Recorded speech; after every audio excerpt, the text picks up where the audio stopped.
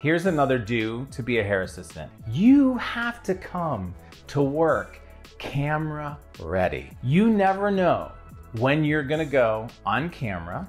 Here's an example, and I'm just gonna put her on blast because we've worked together for so many years. I had an assistant, Corey, and she was helping me with a wedding in Santa Barbara. It was incredibly expensive, tons of celebrities. The bride decided to do her own makeup. I did her hair and she's working on her makeup. All of a sudden, uh, one of the bridesmaids comes out and goes, Can anyone help the bride with the lashes?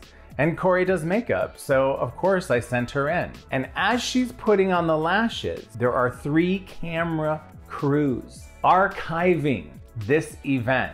Corey had the most busted up fingernail polish and ex- and tips. Like there was they were a mess. I'm just telling you.